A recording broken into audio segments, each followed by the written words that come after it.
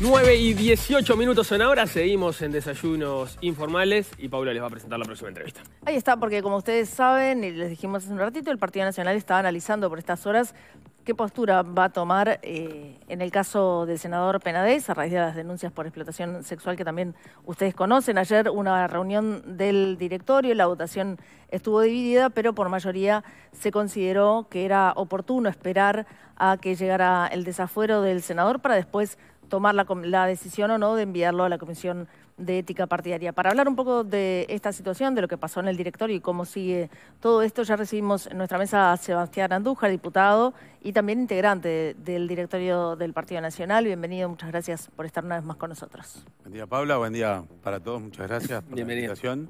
Primero, pedirles que me ayuden a justificar, porque nosotros designamos al presidente del directorio para hablar de lo de ayer, pero como esta entrevista estaba pactada desde la semana pasada... Eh, cuando leí hoy en los diarios que había quedado solo Iturralde como claro. vocero, dije, pa, se cae Andújar. No, no pasa nada, pero ayúdenme para que el tirón de oreja sea lo menos posible. Bueno, eh, como ya estaba pactada, ya está, ya está solucionado. Eh, ¿Qué pasó ahí? Porque desde la vicepresidenta Beatriz Argimón, que había hablado ya previamente, ayer de mañana, por ejemplo, en el programa Si nos va de Carve, había señalado que ella entendía que, esto tenía que terminar en, una eh, comisión de ética. Después dijo incluso que había habido un cambio de postura. Parecía que iba a enviarse al senador a la comisión de ética y finalmente eh, ganó la postura de que no, de esperar. ¿Por qué? A ver, primero porque vale la pena aclararlo, eh, no existe un criterio. No hay un criterio, o sea, los antecedentes y ahí y esto no es para tener polémica yo con la vicepresidenta de la República, que tenemos responsabilidades hasta de conducir el mm. Parlamento, y nos llevamos muy bien. Eh, no existe un criterio porque eh, en realidad eh, los criterios que resultan o se aplican son el resultado de, justamente de la evaluación de los problemas que, que, se van presentando. Y no todos los problemas son iguales. Y no todos los casos en los cuales se ha sometido algún integrante del Partido Nacional a una comisión de ética son ni semejantes. Entonces no puede haber un criterio. Tampoco, también el, Partido Nacional eh, carece de un manual de procedimiento en estos casos. Algo que sí este directorio y no los anteriores ya le encargaron a la Comisión de Ética que lo tiene que hacer. Tiene que haber una guía de cómo proceder en estos asuntos, por lo menos para tener este, unificado cuáles son los procedimientos. Y en lo particular yo entiendo que los criterios también eh, eh, cambian o, o se someten a las circunstancias y al contexto en cómo se tratan y a las evaluaciones que se hacen de los problemas. ¿A qué voy?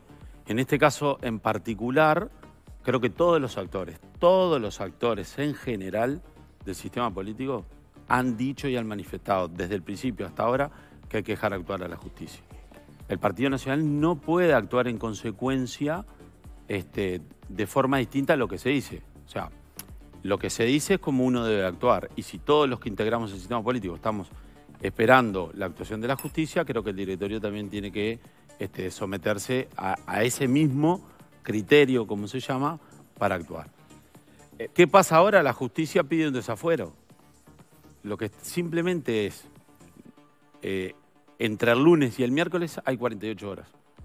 Lo que decidió el directorio fue eso, es esperar o actuar en consecuencia después de votado el desafuero, el pase a la comisión de ética del senador Gustavo Penades. Esa es la diferencia que tenemos, solamente la diferencia que tenemos. Ahí, la duda que me surge es si, el criterio es esperar a la justicia, entonces no cambia nada el desafuero, hay que esperar justamente a la, justicia. No, porque, eh, Nicolás, en este caso el desafuero eh, ya está dentro del proceso judicial, está marcado de que la justicia se necesita estar liberada para seguir adelante con la causa penal. Pero en cuanto a la inocencia o la culpabilidad de, la bueno, no, no cambia nada. Pero que el tema esté en comisión de ética tampoco significa que la comisión de ética tenga que llevar adelante un fallo o generar un dictamen antes, que la justicia. Es simplemente que va a estar dentro de la órbita de la comisión de ética. El Partido Nacional sabe que hay ocho denuncias, hay ocho presentadas, se, se considera que hay alguna más en la vuelta, pero tomemos las ocho. Eh, y que eso básicamente va a ser lo que va a decir el expediente que mande el Poder Judicial, la Suprema Corte de Justicia, con algún detalle, por supuesto, de lo que ha sido hasta ahora la investigación. ¿No es suficiente con, esas ocho denuncias? A ver, el caso es gravísimo y en eso estamos todos de acuerdo, no hay, no hay dos opiniones. Eh, no solamente por la sensibilidad, eh, sino por, por- la magnitud, en la cantidad. Eh, desconocemos los, los expedientes. Y, es difícil a veces actuar como juez cuando tú eh, careces del conocimiento del contenido de las cosas. Eh, creo que esto es solamente cuestión de tiempo. Eh, tenemos que dosificar la ansiedad en el querer ser, en el querer ser los primeros, en el querer ser quien marca cómo se debe conducir un partido o en el querer ser cuáles son las normas que tienen que regir y simplemente esperar los tiempos para actuar cuando corresponde. No significa eh, tomarse esos tiempos que vamos a actuar o que estamos protegiendo a alguien. Ujú. Entiende que Simplemente tener, hacer las cosas con conocimiento de causa. Pero en todos los casos el comité de ética tiene que esperar por la justicia. Porque No, hay elementos que pueden ser distintos, ¿no? eh, no, no. Hay cosas que no son éticas, que capaz que son o no ilegales. Analía, en este caso, o sea, por eso todos los casos son distintos. No, la Comisión de Ética puede actuar en casos que no tienen por qué estar en la justicia. O la Comisión de Ética todavía no ha recibido casos que están en la justicia. Porque tenemos casos que de compañeros del Partido Nacional que tienen hoy causas judiciales. El Ministerio del Interior hace poco fue- hizo una denuncia sobre compañeros que son del Partido Nacional y todavía no han sido ni tratados ni pasados a la Comisión de Ética. Tampoco nadie ha pedido porque se los pase. ¿Cuánto tiempo en ¿ah? concreto va a Este pasar? tema se ha robado todos los, toda la marquesina. ¿Cuánto tiempo en concreto va a pasar para que la Comisión de Ética aborde este tema? Para que aborde, Sí. yo creo que en esta semana ya el tema va a estar en la Comisión de Ética. Creo no, va a estar en la Comisión de Ética. Lo que pasa que vamos a los casos probables y a los casos posibles. Supongamos, no va a suceder, pero supongamos porque está dentro de las probabilidades, que el Senado no vote el desafuero. ¿Cómo actúa el Partido Nacional? Pero si el se interrumpe la El investigación... desafuero lo, lo pidió el propio Penades. No, estamos de acuerdo, pero yo digo, está- yo hablo, no, no significa que vaya a suceder, Leo, sino que también tenemos que evaluar lo que puede, o sea, que está dentro de las posibilidades. Está dentro de las posibilidades que no se vote. Sabemos que se va a votar y que eso va a suceder. ¿Ah? Pero simplemente por no esperar que quede tomada la decisión desde el punto de vista formal, este, no significa que estemos protegiendo o que no estemos atendiendo el caso. ¿Hay alguien Después la Comisión de Ética, Analia, para terminar la respuesta, eh, tiene sus procedimientos, tiene su tiempo y ellos y es independiente de la Comisión de Asuntos Políticos o del directorio en sí. Ya se maneja con autonomía. ¿Hay algún eh, senador que esté manejando la posibilidad de no votar el desafuero del Partido Nacional? No me consta, no me consta, no me consta. También puede suceder que el propio implicado pueda renunciar al partido y eso determine que no se puede Eh, pasar. exacto, por eso tendría que pasar hoy. Puede pasar hoy o puede pasar. Por eso le preguntaba cuánto tiempo tiene que pasar para que aborden este tema en la comisión. Capaz que están dando un margen para ver si eventualmente Penades renuncia o no. Pero después renuncia y también cae por su propio peso. Eh, ya sucedió con el caso de Moreira. Moreira renunció al partido y después de que la justicia tuvo su dictamen volvió. Y Eh, no fue, no hubo una actuación de la Comisión de Ética. O sea, es muy Sí, hubo Una complejo. actuación de la Comisión de Ética express en un fin de semana Nada. que fue eh, por la galería, digamos. Ahí- Preelectoral. Ahí, ahí tiene que ver, exacto, los contextos. Era, era la campaña electoral. Ah. Parece, parece que eso, eso incide, lo- al margen de cuáles sean las situaciones, ¿no? Exactamente. Todos los casos son distintos, no existe un criterio único. Pero los casos Todo depende de cómo se evalúan y en el contexto, en el contexto que se La evalúa. semana pasada entrevistamos aquí al diputado Eduardo Lust, quien definió que Penades era un lastre para el Partido Nacional y que de cara a la carrera electoral para 2024 convendría que renunciara antes incluso de que avanzara la posibilidad de que se concrete un juicio horario y público. ¿Entiende que sí que tiene que renunciar al Partido Nacional Penades? ¿Es conveniente? Primero me parece un atrevimiento de parte del diputado Luz tener que opinar sobre otra colect- una colectividad política a la cual no, no pertenece. ¿Ah? Es libre de hacerlo. Pero también yo soy libre de calificar su opinión. Y me parece un atrevimiento en este caso. Sobre todo cuando es un tema personal. Es un problema de un político, no un problema político. Y lo tenemos que también tenerlo, eso lo tenemos que tener muy presente. Yo creo que el diputa- el, creo que el senador Penades sabe las cosas que tiene que realizar y en el momento que las tiene que realizar. Y no me puedo adelantar a lo que va a suceder. Pero estamos hablando de una persona que hoy está llevando un proceso judicial muy complejo, muy complejo, que no sabemos cuál va a ser el veredicto y que a medida que se van dando los acontecimientos puede o renunciar hasta el Partido Nacional, puede renunciar a su banca según lo que pase con la justicia. Yo no, no visualizo hoy eh, comprometido al senador Penades en una campaña política futuro. ¿Cómo, perdón? No lo visualizo comprometido con una campaña Ajá. política. O sea, participando. Sí. Si él, si él renunciara hoy, cae todo lo que viene ahora, ¿no? Si él renunciara hoy al al- al- a su banca, No forma más parte del Partido exacto, Nacional. no, no solo no forma más parte del Partido Nacional. No, pero no la banca, yo hablo de la renuncia del Partido Nacional. Sí. Ahí no forma parte del Partido Nacional. Está, pero si él renunciara a la banca, el Partido Nacional y todo el, el Parlamento eh, se evita la discusión del desafuero y el tema pasa directamente a la justicia. Es un paso que acorta los procesos. ¿Está sobre el- la mesa esa En posibilidad? este momento está sesionando la Cámara de Senadores. Eh, es un tema en tiempo real. Mm. No creo que eso suceda. O sea, como decimos hoy, bueno, hablándonos en, en realmente lo que pueda suceder, no creo que suceda.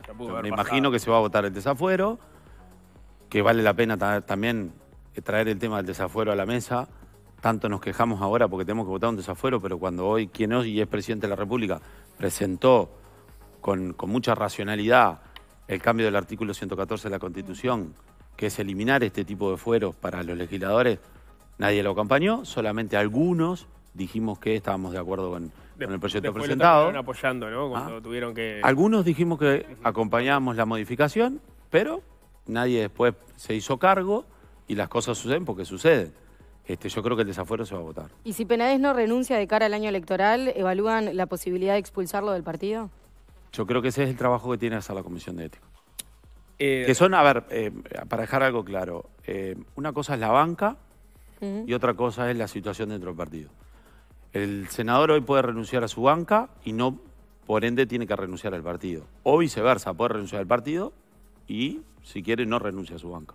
Son, eh, una cosa es lo parlamentar. A ver, acá tenemos tres ámbitos: la justicia, el parlamento y el Partido Nacional. Eh, decías hace unos minutos este, que había que bajar la ansiedad, tratar de dejar de querer ser los primeros en determinadas expresiones. Eh, entiendo, de alguna forma, hay una búsqueda de perfilismo con este tema, incluso dentro del Partido Nacional. Intento pensar que no y quiero pensar que no. Hay indicios que eh, me están molestando. Por ejemplo, o me están generando incomodidad. Eh, Creo que el tema, sobre todo, el de cómo se maneja la comunicación. El tema de ser la noticia o estar o ser quien este, a través de los medios nos estamos comunicando. Yo creo que tiene que haber una comunicación, una comunicación primero interna sobre estos temas. Entonces, cuando tú ves la comunicación o que nos enteramos de las cosas que se van a proponer a, a través de la prensa, eso no deja de parecer un ¿Te referís a las expresiones de la vicepresidenta? No quiero manejar nombres, o- pero... Por la patria. Nicolás, no quiero manejar nombres porque no quiero hacer esto una cuestión política interna, pero es la verdad. O sea, hay- somos un directorio, con eso. somos un directorio y lamentablemente como compañeros de partido a veces nos enteramos a través de la prensa de las cosas que se van a presentar en el mismo directorio.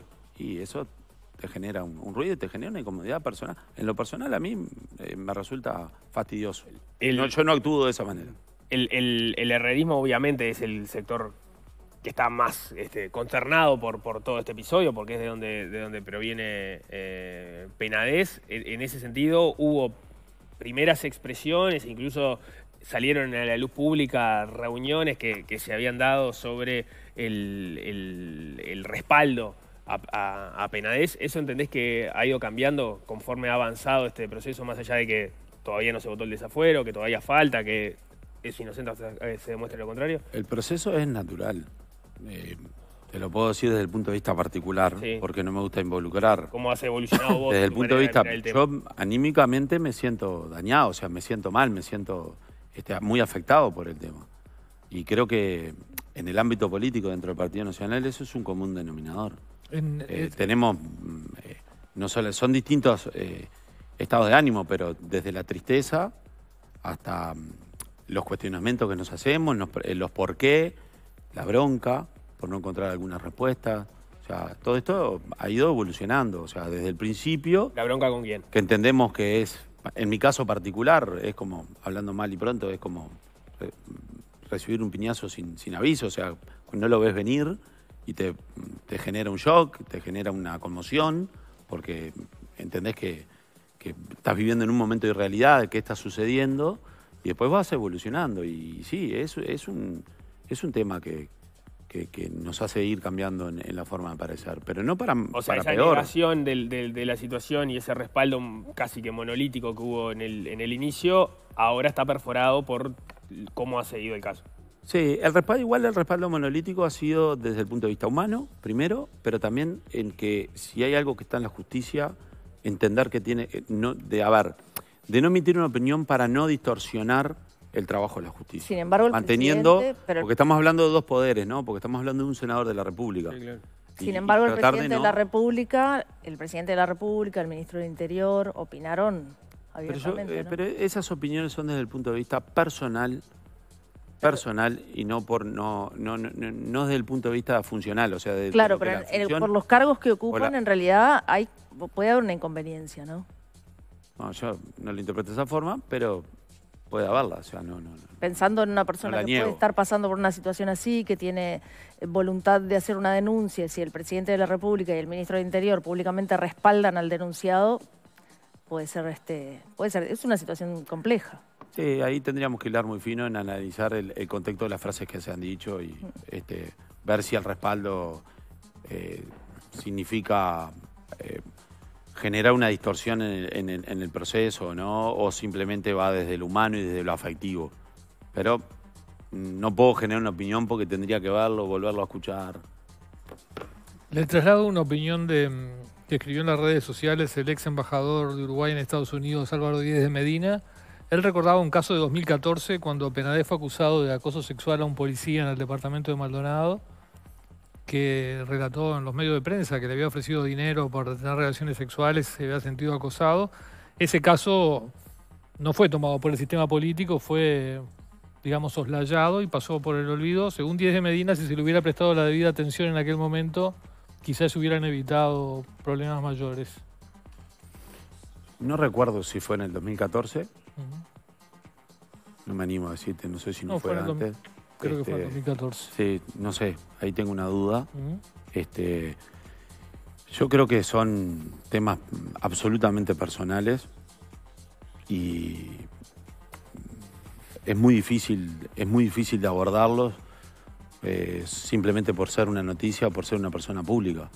Eh, creo que va en lo que es cada uno y su entorno y la contención que puedan tener. Eh, no me animo a, a decir de que este problema no hubiese sucedido eh, si se hubiese abordado esa noticia. Porque tampoco tengo la veracidad de, de- de la noticia. O sea, o sea, no puedo confirmar que la noticia haya sido real, si haya sucedido, y, y tampoco puedo animarme a decir hoy, Leo, eh, cómo, cómo- cuál va a ser el desenlace de esto, si realmente todas las denuncias son reales o no son reales. Eh, es una pregunta complicada la que me haces, pero este, me hubiese gustado, te lo voy a responder de otro lugar, me hubiese gustado que sí hubiese sucedido eso y se hubiese podido evitar esto, sin duda. Dijo al pasar que había gente del Partido Nacional que estaba imputada y no pasó a la Comisión de Ética. Sí. ¿Quiénes, por ejemplo? Santiago González. ¿Debería pasar? No hay una denuncia, creo que hay una denuncia del Ministerio del Interior Sí. por las actuaciones de él. ¿Debería pasar? Hay en lo que es una La tiene ampliación. que analizar el directorio y evaluar, igual que esto, en su contexto, a ver si amerita o no.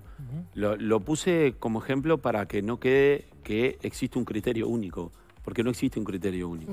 Andújar, a mí me interesa conocer qué tan presente o ausente está eh, Penadez en- dentro del Partido Nacional en relación a lo que comunica de cómo se siente. ¿no? Estamos hablando de un senador que vivía para la actividad parlamentaria, así lo demostraba, se quedó sin toda esa parte que probablemente sea la gran parte de su vida y además está acusado por actos de presunta pedofilia y explotación sexual de menores. O sea, es este, extremadamente dramático todo lo que está pasando. Gravísimo. ¿Cómo está él? ¿Cómo habla? ¿Habla con ustedes? Yo ¿Está hace, muchos días que no hablo con él ¿Qué dice? y no, anímicamente, la, la- la- la última vez que hablé no estaba bien.